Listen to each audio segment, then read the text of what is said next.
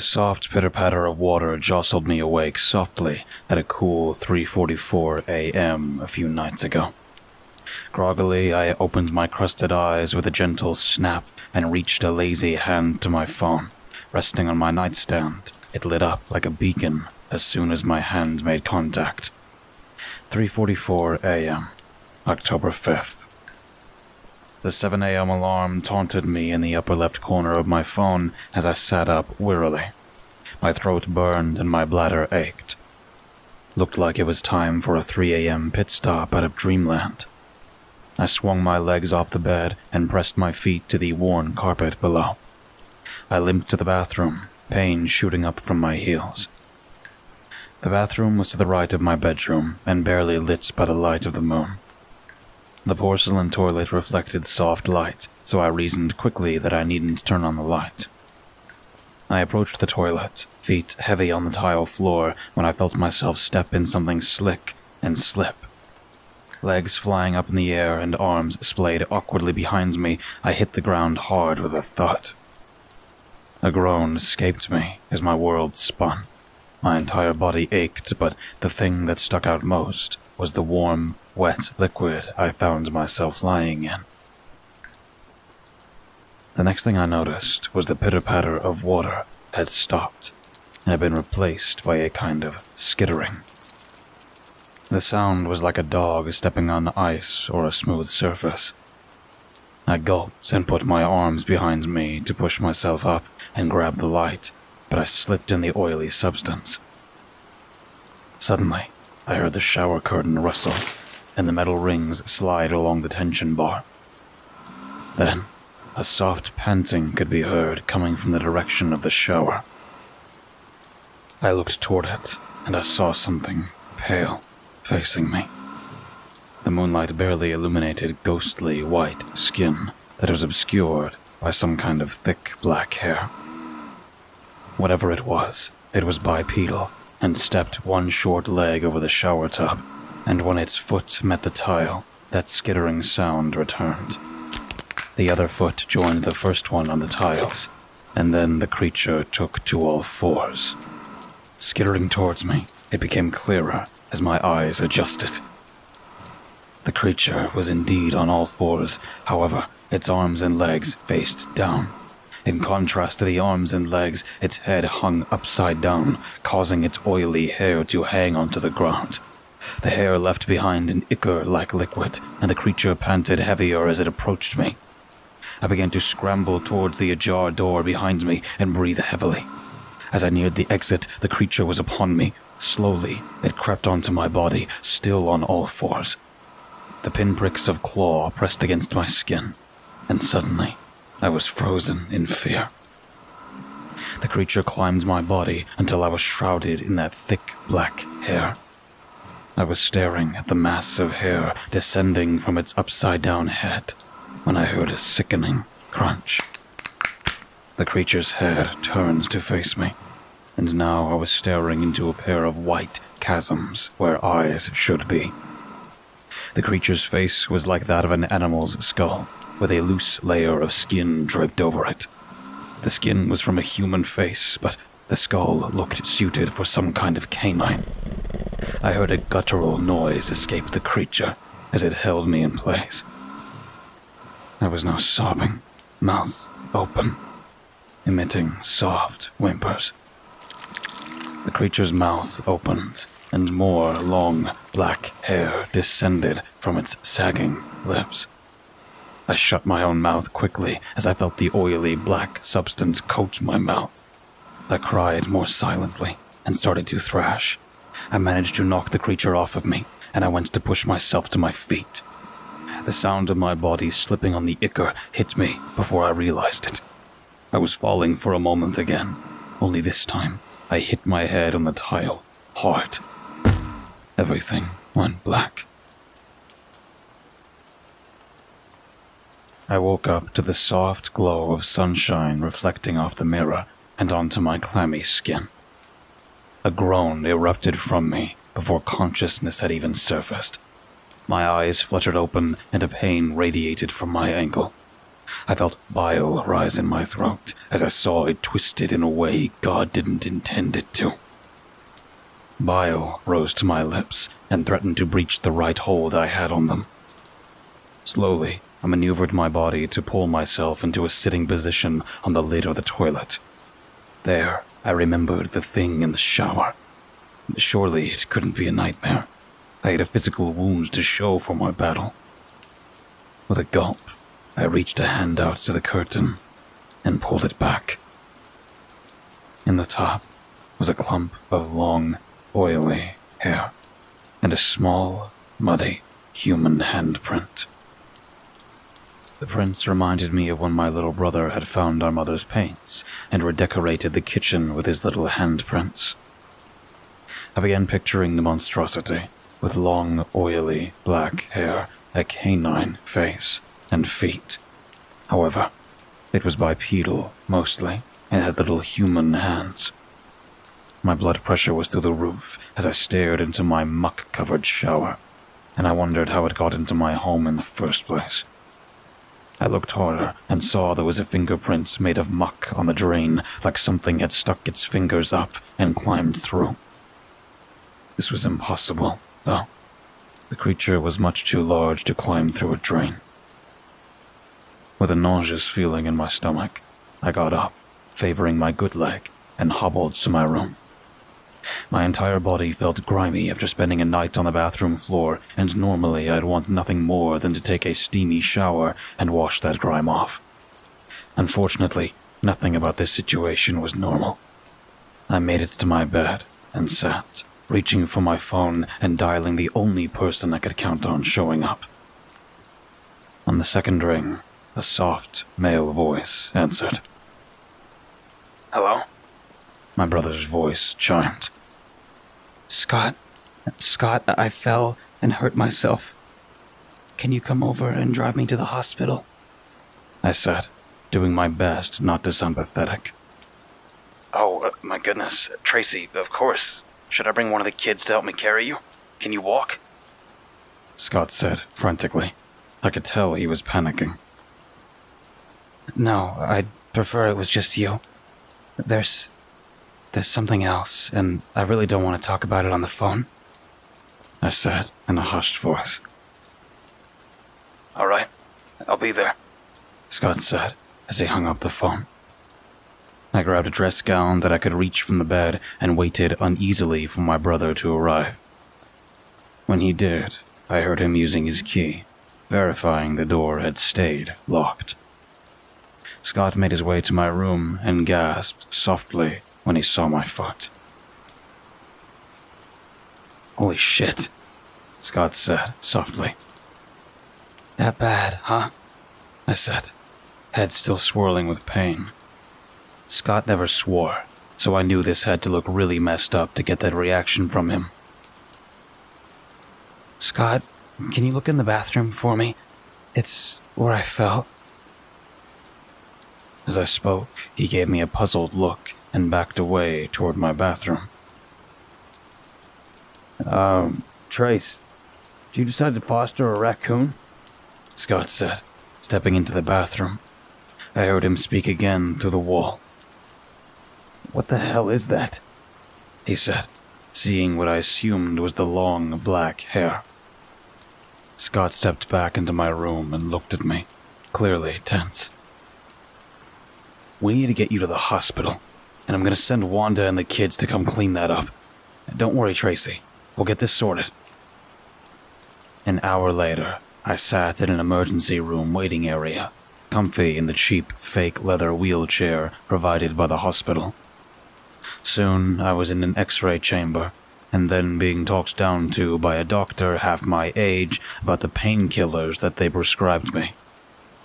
Scott took me home with him, not wanting me alone in my apartment after the events of the previous night. We hadn't discussed what I saw or what it left behind. I was grateful Scott was the type of guy who let things rest.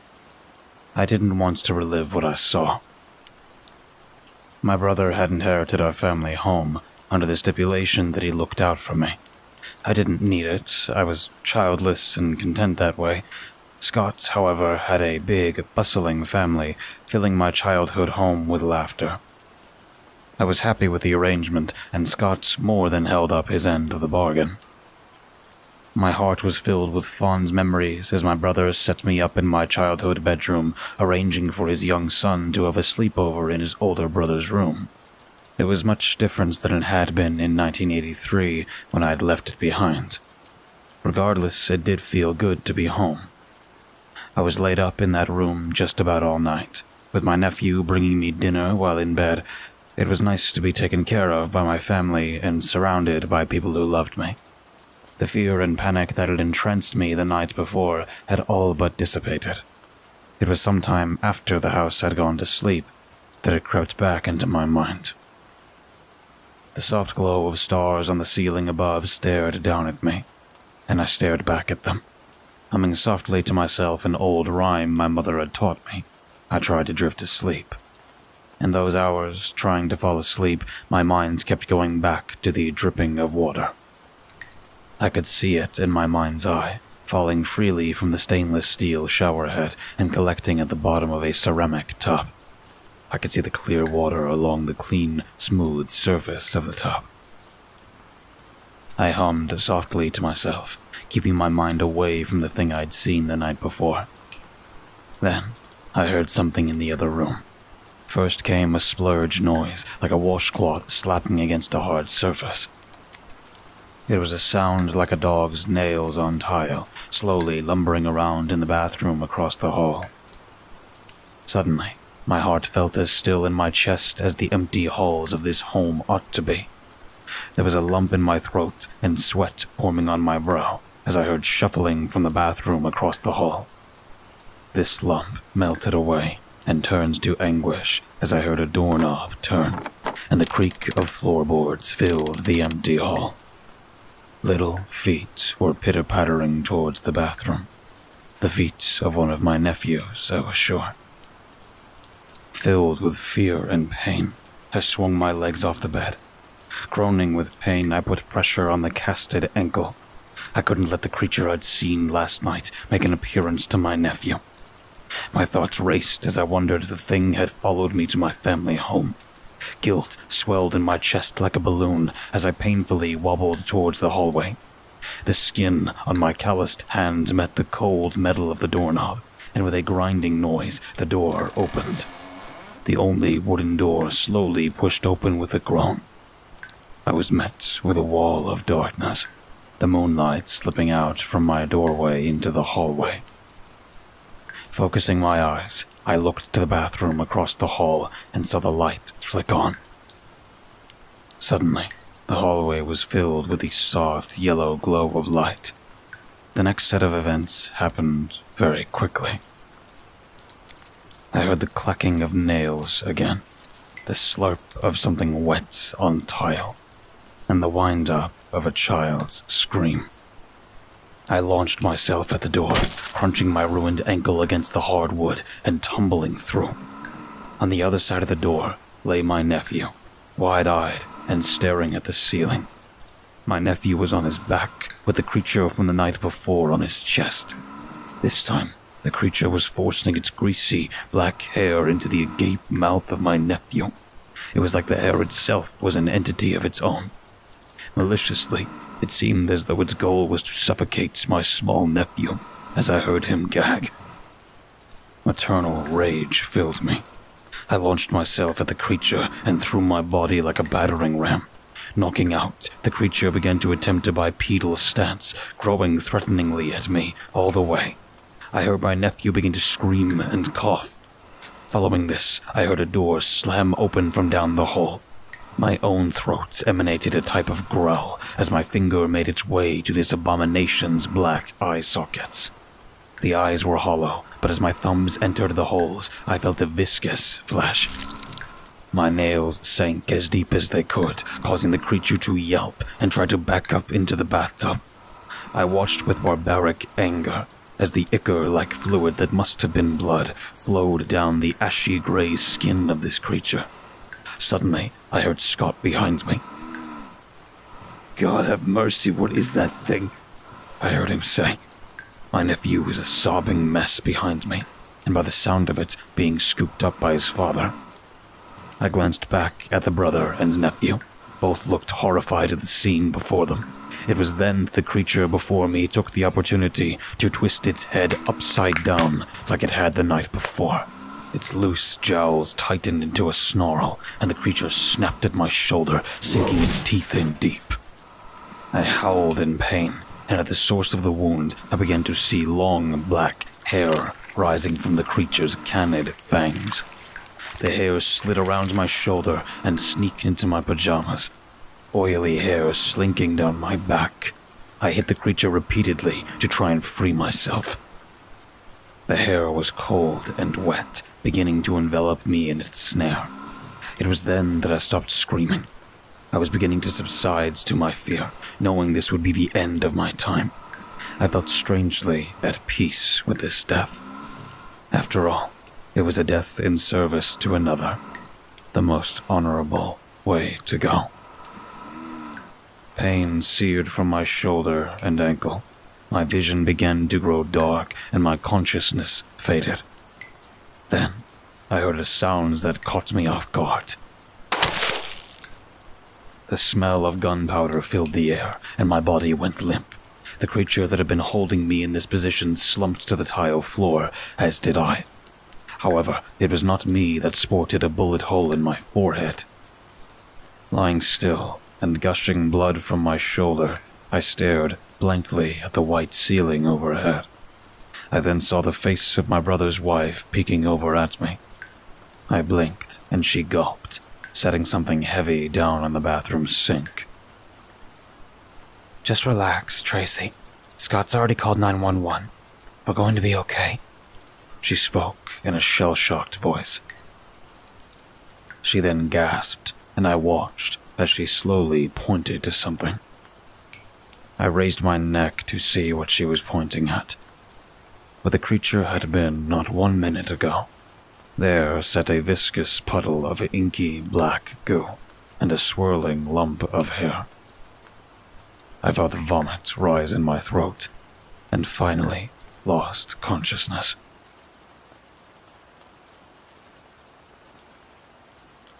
I didn't awake for a few days, and when I did, Scott was by my side. His face was haggard, and he seemed more tired than I'd ever seen him. I wearily attempted to speak, but found my throat dry and lost. Scott perked up and leaned in with a smile. Tracy, I'm so glad you're awake, Scott said, warmly, reaching for my hand. His expression grew dark as he looked over my shoulder. I was prompt to look over, and I was greeted with a thick wad of gauze adorning my arm. I winced and looked at my brother. You're gonna be okay, I, I promise. I. He paused and looked at the ground. Thank you, Scott said, finding his words at last. Tired brown eyes met mine. You saved my son. I. I won't pretend to know what that thing was, or how it got into our home. But thank you, Scott said solemnly. I finally found my voice and spoke. Is it gone? I said hoarsely.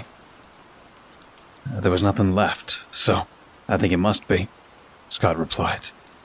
I looked down at my hands, eyes catching my thumbs that had dug so deeply into the creature's flesh. I gulped and settled into the hospital bed. The hospital released me after two more days, and my family was by my side for every moment I was in the hospital. We didn't part ways until I was back in my home, insisting on privacy. While I didn't truly want to be alone, I couldn't put them out any longer. They had been by my side every waking moment ever since that creature had invaded my home. My sister in law, true to her word, had completely cleaned my bathroom. It was like nothing had ever happened, save for, of course, my shattered ankle and mauled shoulder. Despite the horrors inflicted upon me, After days of constant observation, the thing calling to me the most was a hot bath. I wobbled to my tub and drew the water. Putting the plug into the bottom of the tub, I was lulled into a sense of security. Hot water and steam filled the tub, and I hummed softly to myself as I lowered my broken frame into the tub.